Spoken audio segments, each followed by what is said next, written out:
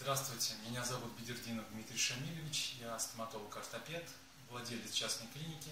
По первому образованию я зубной техник. Хочу пригласить вас на свой семинар «Основа окклюзионной стабильности, долговечности, ортопедических реставраций в работе зубного техника». Этот семинар будет интересен не только зубным техникам, хотя создавался специально для них, но и врачам-ортопедам. Мы поговорим о критериях стабильности, о критериях эстетичности, долговечности, комфортности, гигиеничности наших э, конструкций. Э, разберем частые ошибки зубных техников при изготовлении виниров, коронок, съемных протезов, коронок, коронок на имплантатах.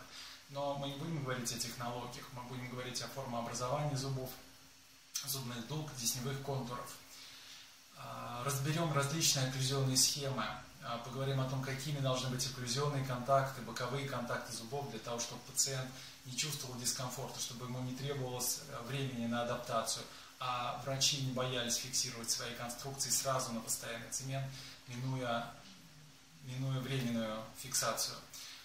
На что должны обращать техники внимание для того, чтобы избежать сколов, расцементировок коронок – чтобы не вызвать у пациента спазма жевательной мускулатуры, дисфункции сочно-нижнечелюстного сустава, что так актуально на сегодняшний день.